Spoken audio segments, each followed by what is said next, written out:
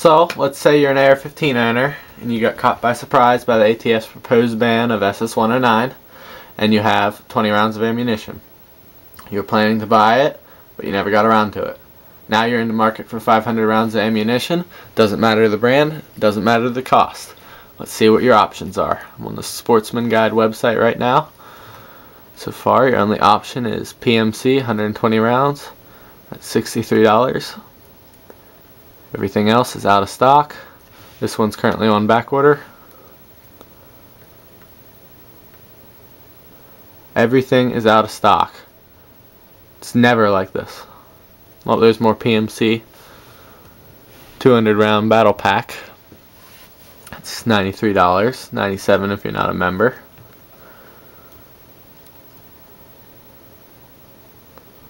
Two two three is just flying off the shelves, guys. It's all out of stock.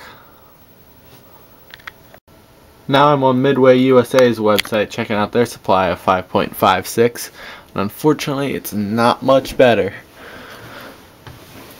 Pretty much everything's out of stock. And anything that is in stock, the price is jacked way up.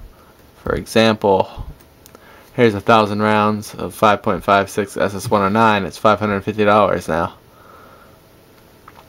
There's some independence. That's a, that's not a bad price, and it's still in stock. So that's one thing you could get. I have shot some of that. Seems to be pretty decent ammunition, but that's the only two that are in stock on their whole website. It's not looking good.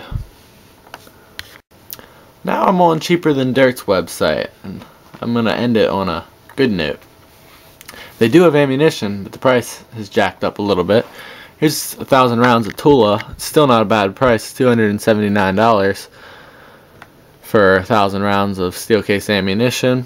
And they do have a lot of ammunition in stock, but they didn't yesterday. They just got a shipment and updated their website. I don't know how long it's going to last. Probably not too long. Let's go through their pages.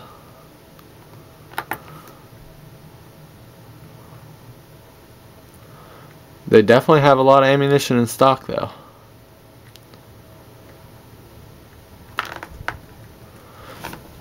But that thousand rounds of Tula, that was like $279 I think it was. And here is a magazine I got from them about a month ago before all this started and it was $222.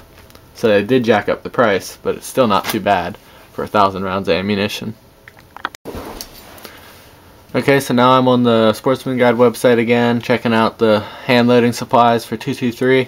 There's a thousand rounds of 223. It's out of stock, currently on back order. There's brass for 223. It's also out of stock and on back order. Go down, there's there's some more 223 and it's 250 rounds there on back order. Basically cannot get 223. It's out of stock pretty much everywhere except for cheaper than dirt.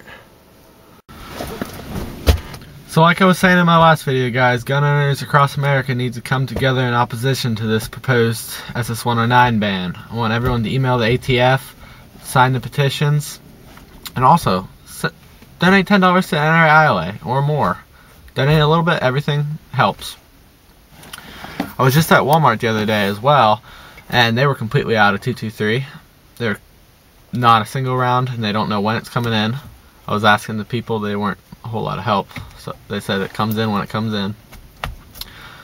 So pretty much 223 is looking pretty hard to get. So maybe the 300, the people who bought 300 blackouts were, are better off after all.